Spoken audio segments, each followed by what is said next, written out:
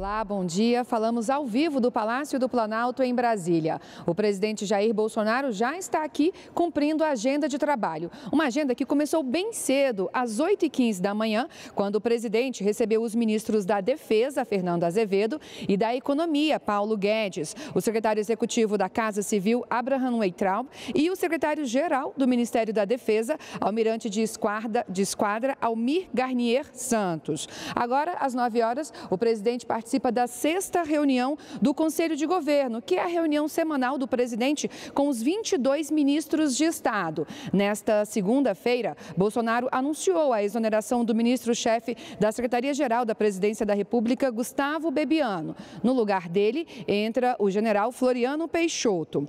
Bom, às 11 da manhã, o presidente Jair Bolsonaro participa da solenidade de encaminhamento do projeto de lei anticrime ao Congresso Nacional, elaborado pelo ministro da Justiça e Segurança Pública, Sérgio Moro, a proposta torna mais rígida a punição de condenados por crimes violentos, como homicídio e latrocínio, e também por condenados contra a corrupção, por corrupção e também contra integrantes de organizações criminosas. Segundo o ministro Sérgio Moro, um dos objetivos é tirar das ruas criminosos reincidentes ou comprovadamente membros de facções criminosas.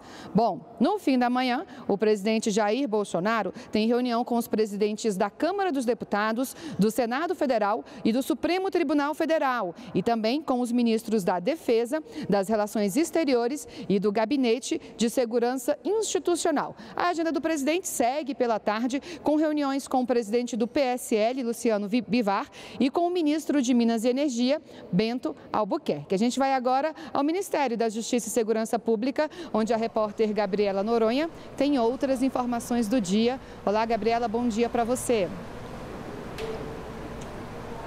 Olá, Luana, bom dia. Um bom dia a todos que nos acompanham na NBR. Olha, antes de participar aí da solenidade no Palácio do Planalto de encaminhamento do projeto de lei anticrime, o ministro Sérgio Moro está aqui no Ministério da Justiça e se reúne com o secretário nacional de Segurança Pública, o general Guilherme Teófilo, e também com representantes do Conselho Nacional de Secretários de Segurança Pública. A reunião começou às 8 8 e meia da manhã. Vamos ver imagens que foram feitas agora há pouco.